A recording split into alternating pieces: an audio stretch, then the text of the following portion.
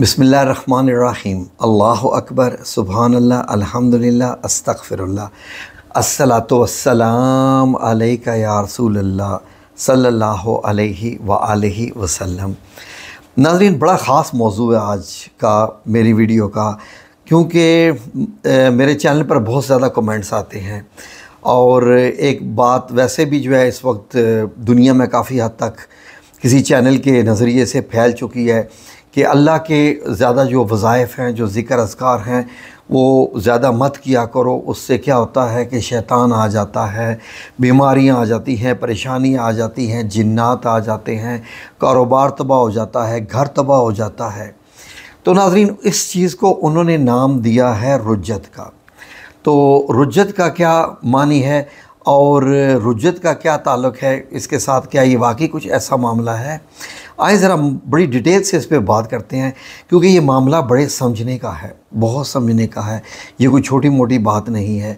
बाज़ ऐसे भी मतलब बातें होती हैं जो अल्लाह रब्बुल ने फरमाया कि ऐसी बातें मत करो कि जब वो माशरे में फ़ितने की तरह फैल जाएँ तो वो तुम्हारे लिए नुकसानदेह बन जाएँ, या माशरे में एक वो ऐसे एक किस्म के वो कानून ही बनना शुरू हो जाएँ। तो इसीलिए तो अल्लाह रब्बुल ने फरमाया कि सुनी सुनाई बातों पे एक तो मत यकीन किया करो और तहकीक कर लिया करो। नाजीन आए ज़रा थोड़ा सा अपने माइंड को दोहराते हैं सबसे पहले। फिर उसके बाद अल्लाह से पूछते हैं जी कि आप क्या कहते हैं अपने अजकार के बारे में? फिर अल्लाह के रसूल नबी पाक सल्लल्लाहु अलैहि वसल्लम से पूछेंगे कि आप क्या फरम, इर्शाद फरमाते हैं इसके बारे में? और फिर आपके सामने कुछ अपना तजिया भी रखेंगे।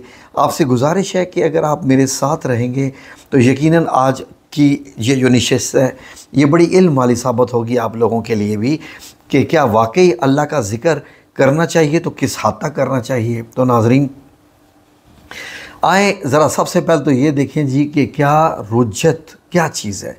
नाजरीन, अरबी में किसी को अगर अरबी बोलनी जाती अगर बोलनी आती है तो हम जब अरबी में किसी को पुकारते हैं या जैसे किसी बंदे को मैं अगर पुकार रहा हूँ, अब्दुल्ला को पुकार रहा हूँ, या अब्दुल्ला इरजाहना कि ए अब्दुल्ला, इधर वापस आओ इर्जा यानी रज्जा का मतलब होता है वापस आना, और उसके बाद रज्जा अल इंतज़ार का भी कहते हैं, जी प्लीज़ थोड़ी देर के लिए आप ज़रा इंतज़ार कर लीजिए जो लोग सऊदी अरेबिया में रहते हैं, मिडिल ईस्ट में रहते हैं, दुबई में, उनको मालूम है कि लफ्ज़ जो इर्जा होता है, जो रज्जा यानी वापस करना, जैसे किसी दुकान पे भी चीज़ वापस करना तो वापस करना। तो नाजरीन, निकालने वालों ने इस चीज़ में क्या ये चीज़ निकाली है कि आपके किए गए वज़ाइफ, आपके किए गए वज़ाइफ अगर वो ऑथेंटिक नहीं है या कोई और मामला है या अगर आपने वैसी किए जा रहे हैं किसी की इजाज़त के बगैर तो वो वापस आप पर लौट कर आते हैं और आपकी ज़िंदगी को बर्बाद कर देते हैं। और आप तरह तरह से रुजत का शिकार हो जाते हैं। उसको लफ्ज़ रुज आती या रुजत या जे जो मर्ज़ी कहें बेसिकली इस लफ्ज़ का जो है वो वजूद ही नहीं है। तो एनी anyway, हम आए सबसे पहले तो अपने प्यारे रब करीम से पूछते हैं, जो हम सब का दोस्त है, जो सिर्फ़ और सिर्फ़ हक और सच की बात करता है, और उससे पूछते हैं कि, या अल्लाह, आप क्या कहते हैं? आपका ज़िक्र असकार वज़ाइफ कितने करने चाहिए और क्यों करने चाहिए? सूरह अल बकरा की आयत नंबर 152 यानी एक सौ बावन में अल्लाह रब्बुल इज़्ज़त क्या फ़रमाते हैं? आपने स्क्रीन पर ज़रा पढ़िए।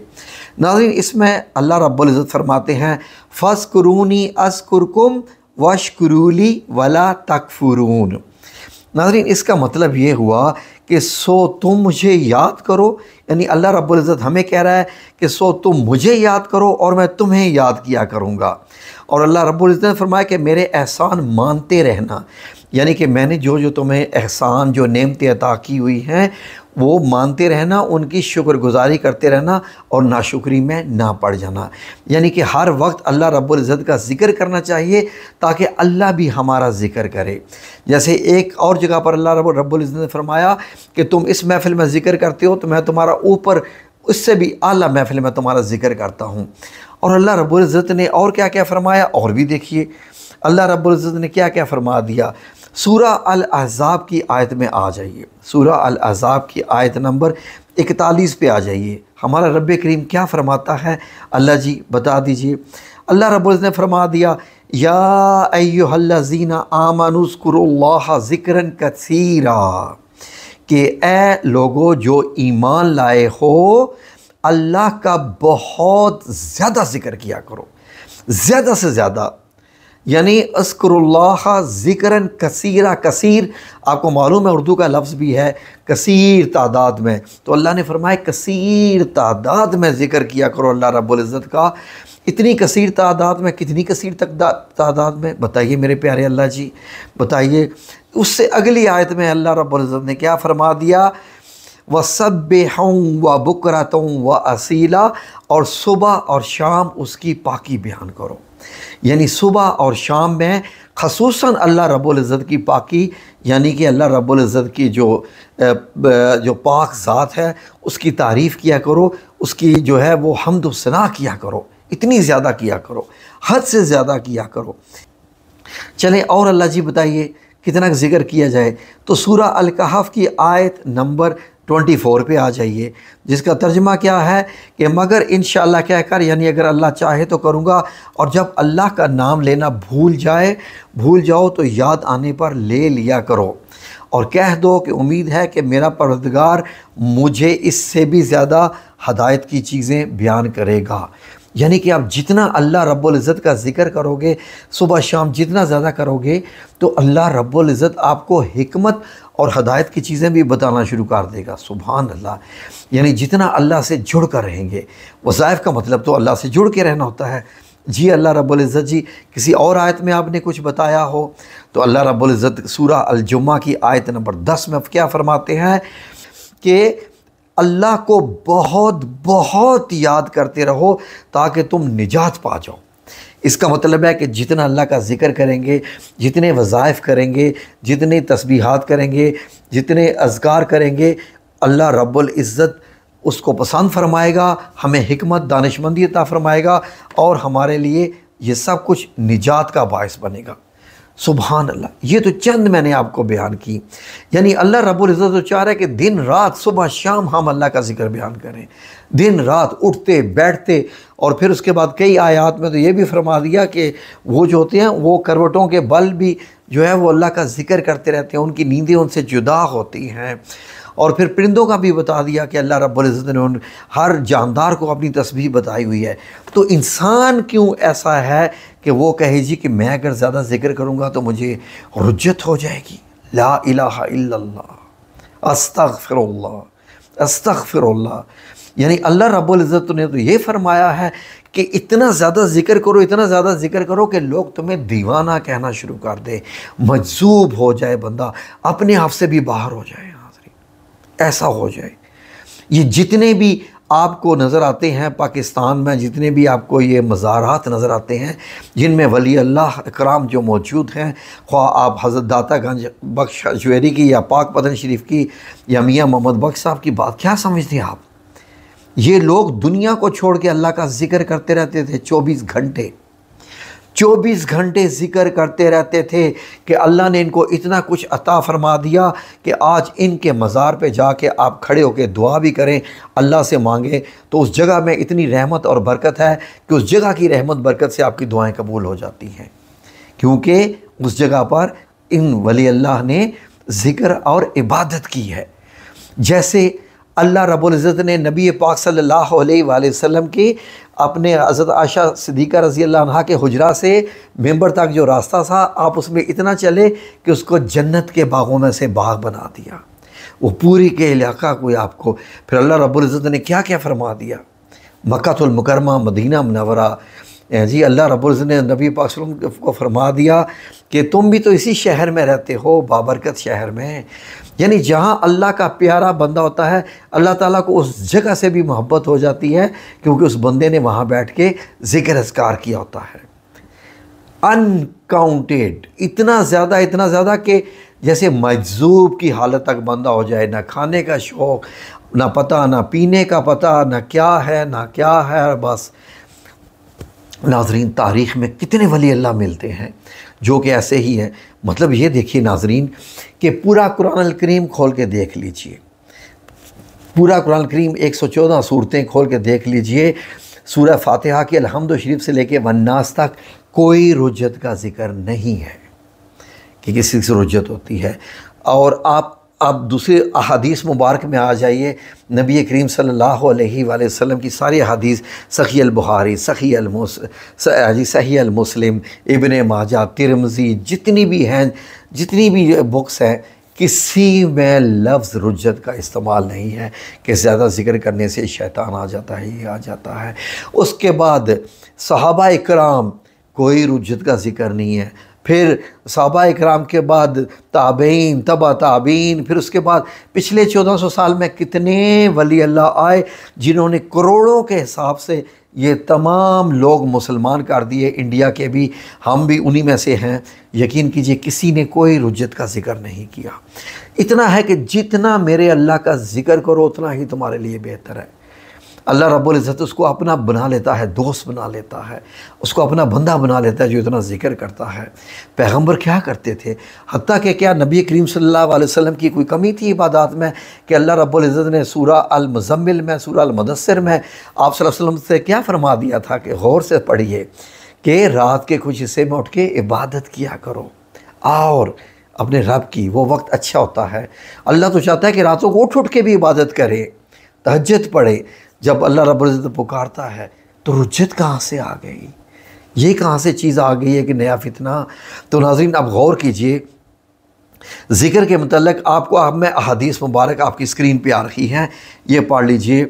ये ज़िक्र है, हज़रत अब्दुल्ला बिन उमर रज़ी से रवायत है कि नबी करीम सल्लल्लाहु अलैहि वसल्लम ने इशाद फरमाया, किसी शख्स का कोई अमल ऐसा नहीं जो अल्लाह ताला के ज़िक्र से ज़्यादा उसके हक़ में अल्लाह ताला के अजाब से निजात देने वाला हो। यानी ज़िक्र ज़्यादा अजाब से निजात दिलाएगा। लोगों ने अर्ज़ की, क्या अल्लाह अज्जल की राह में जिहाद भी नहीं? तो आप सल्लल्लाहु अलैहि वसल्लम ने इरशाद फरमाया, अल्लाह ताला की राह में जिहाद भी ज़िक्र के मुकाबले में ज़्यादा निजात का बायस नहीं, मगर ये कि मुजाहिद अपनी तलवार से अल्लाह के दुश्मनों पर इस कदर वार करे कि तलवार टूट जाए। हज़रत अबू दरदा रज़ी अल्लाह से रवायत है कि रसूल अक्रम वसल्लम ने इर्शाद फरमाया क्या मैं तुम्हें ऐसे बेहतरीन अमाल ना बता दूँ जो अल्लाह ताला के नज़दीक बहुत सुथरे और तुम्हारे दर्जे बहुत बुलंद करने वाले हैं। तुम्हारे लिए सोना, चांदी खैरात से बेहतर हैं और तुम्हारे लिए इससे भी बेहतर हो कि तुम दुश्मन से जिहाद करके इनकी गर्दनें मारो और वो तुम्हें शहीद करें। सौबा कराम रज़ी अल्लाह अनहम अजमाइन ने अर्ज़ की, जी हाँ अरशाद फरमाइए। बताइए हमारे प्यारे नबी। तो आप सल्लल्लाहु फरमाया, वो अमल है अल्लाह का ज़िक्र करना। अब नाजरीन, इससे अंदाज़ा लगाइए कि ज़िक्र जितना आप ज़िक्र करेंगे, उतना ही अल्लाह आपको अपने करीब करता जाएगा। एक वक्त वो आ जाएगा, एक वक्त वो आ जाएगा कि, एक वक्त वो आ जाएगा कि अल्लाह आपकी हर बात मानने लगेगा। अब बता मेरे बंदे, तुझे क्या चाहिए? जो बात है ना, खुद ही को कर बुलंद बुलंद इतना कि हर तकदीर से पहले। यानी जब इंसान अल्लाह रब्बुल इज़्ज़त का ज़िक्र करे तो अल्लाह रब्बुल इज़्ज़त उससे क्या क्या जो है, वो दर्जात अता फरमा देता है। इसके अलावा अहादीस की रोशनी में नाजीन कराम ने चालीस नकात पेश किए हैं कि जो अल्लाह ताला के ज़िक्र करने से हासिल होते हैं। मैं चंद आपकी खिदमत में गनवा देता हूँ, आपके पास भी वक्त नहीं होता। अल्लाह ताला का ज़िक्र करना, उसकी रज़ा हासिल करने का ज़रिया है। यानी अल्लाह आपसे राज़ी हो जाए और आपको जन्नत दे दे। इसकी बरकत से अल्लाह ताला का कुर्ब नसीब होता है। मार्फत इलाही के दरवाज़े जो है खुलते हैं। यानी आप अल्लाह ताला को जानना शुरू कर देते हैं। ज़िक्र करने वाले को अल्लाह ताला याद फरमाता है। ये अल्लाह ताला के अजाब से निजात दिला, दिलाता है। बंदे और जहन्नम के दरमियान में ये आड़ है। ज़िक्र करने वाला क़्यामत के दिन की हसरतों से महफूज रहता है। ये ख़ुद भी सादतमंद होता है और साथ बैठने वाला भी सादतमंद हो जाता है। यानी अगर आप ज़िक्र कर रहे हैं तो साथ बैठने वाला भी। कसरत से ज़िक्र करना जी, बदबख्ती से अमान है। यानी जो नहीं करता, वो तो बदबख्त हुआ ना फिर। फिर कसरत से ज़िक्र करने वाले बंदे को अल्लाह ताला क़यामत के दिन, अल्लाह ताला की बारगाह में अफजल और इरफा दर्जे, यानी ऊँचा दर्जा ता फरमाएगा। सकीना, यानी सकून नाजल होने, रहमत छा जाने का सबब गुनाहों को, ख़ताओं को मिटाता है। अल्लाह ताला की ज़िक्र की बरकत से बंदे का नफ्स शैतान से महफूज रहता है। वगैरह वगैरह बहुत से चालीस है। तो नाजीन मैं कितना बयान करूँ तो बात है कि फ़सकरूनी असकुरकुम वशकरूली वला तकफरून। सो तुम मुझे याद किया करो और मैं तुम्हें याद करूँ और मेरा शुक्र अदा करते रहो और मेरी नाशुक्री ना करना। तो नाजरीन तो फिर ये रुजत कहाँ से आ गई? अब मैं बताता हूँ रुजत कहाँ से आ गई। नाजरीन, जितने भी ज़िक्र कुरान पाक से हैं, जो कि कुरान मजीद से आप करते हैं, वज़ाइफ करते हैं, कुरान मजीद की आयात से, या जितने ज़िक्र भी कौन से हैं जो आप सल्लल्लाहु अलैहि वसल्लम ने तस्बीहात बताई हुई हैं? जैसे तस्बीह फ़ातिमा तो ज़ोरा रज़ी अस्तफ़रल्ला की तस्बीह हो, या सुबहान अल्लाह वाबी हमद सुबहान अज़ीम, या सूर अखलास की दस की तस्बीह हो, या मौज़तैन की तस्बीह हो, या सूर बकरा की आखिरी आयात की हो, सूर जुमा सूर हशर, सूर फ़ातिहा की, ये जितनी तस्बीहात आप सरस ने फरमाई हैं, अल्लाह रब्बुल इज़्ज़त की कसम, किसी में भी कोई रुज्जत नहीं है। किसी भी किस्म की। तो फिर रुजत कहाँ से आती है? या होती भी है कि नहीं होती? हाँ अलबत् एक चांस थोड़ा सा बनता है। वो क्या बनता है कि फ़ॉर एग्ज़ाम्पल वो अज़कार जो आमिलीन, जो कि आमिल लोग, जो कि जिन्नात से हासिल करते हैं। जिन्नात आपको पता है झूठ बोलते हैं और शैतानी असकार भी वो देते हैं। जैसे कि या जबरील जबर करना शुरू कर दे, या मिकाइल सबको मार दे। कुछ इस तरह के ज़िक्र भी मौजूद हैं मार्केट में। मार्केट से मुराद है, जो आमिल लोग देते रहते हैं एक दूसरे को, जो फैले होते हैं। इस तरह के ज़िक्र अगर आप करेंगे तो वो आपके लिए नुकसानदेह बायस हो सकते हैं, गुनाहों का बायस हो सकते हैं। गुनाहों का, या फॉर एग्ज़ाम्पल कोई एक बंदा है, वो कहता है जी कि मैं जिन्नात को काबू करना चाहता हूँ और किसी ने उसको बता दिया कि ये ये वाली सूरत इतनी बार जाके जंगल में जाके पढ़ो वगैरह वगैरह। फॉर एग्ज़ाम्पल जैसे कि सूरह अलमुज़म्मिल जो है, वो जिन्नात को काबू करने के लिए होती है। लेकिन एक मखसूस तादाद में, बहुत बड़ी तादाद में बैठ के बंदा पढ़े तो फिर, और वो भी जंगल हो, बियाबान हो, जहाँ जिन्नात होते हैं तो उससे जिन्नात आते हैं, लेकिन जिन्नात आपको नुकसान नहीं पहुँचा सकते अगर आप डरपोक नहीं हैं। तो अगर आप डरपोक हैं तो आप भाग जाएँ तो वो भी आपको पत्थर मारेंगे वगैरह वगैरह, वरना वो आपकी गर्दन नहीं मरोड़ सकते, ना कुछ और कर सकते हैं। आपके अंदर दाखिल हो सकते हैं जिन्नात। आपको जो है, वो आपको वैसा कर सकते हैं जैसे कुरान में ज़िक्र है उसके बारे में। लेकिन नाजरीन, इससे अंदाज़ा लगाइए, ये सारे वो हैं जो आमलिन के बताए हुए ज़िक्र होते हैं, जो कि इनके जो कि ना कुरान पाक से होते हैं, ना अहादीस मुबारक से होते हैं। आप, मैं जितने ज़िक्र अपने चैनल पर बताता हूँ, अल्लाह रब्बुल इज़्ज़त की कसम, किसी में किसी किस्म की भी कोई रुझत नहीं है। लेकिन मुझे अफसोस इस बात का लगा कि जब मुझे नाजरीन ने यह कॉल करके बताया मुझे नाजरीन ने यह कॉल करके बताया कि भाई साहब, हमें तो किसी ने बताया है कि आप ज़्यादा घर में बैठ के ज़िक्र ना किया करें, आप बर्बाद हो जाएँगे। तो हम तो जो बचपन से ज़िक्र अजकार कर रहे थे, जो तस्बीहात कर रहे थे, हमने वो भी छोड़ दी।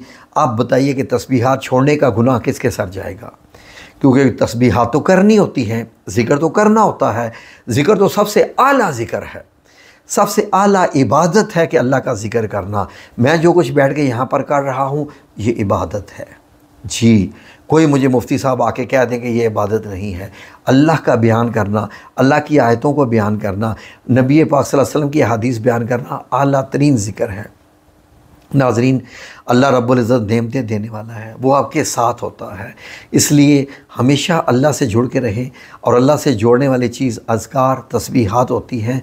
नमाज़ के ज़रिए आप जुड़ते हैं, अल्लाह से आप गोशे करते हैं गुफ्तु करते हैं, दिल ही दिल में अल्लाह से बातें करते हैं।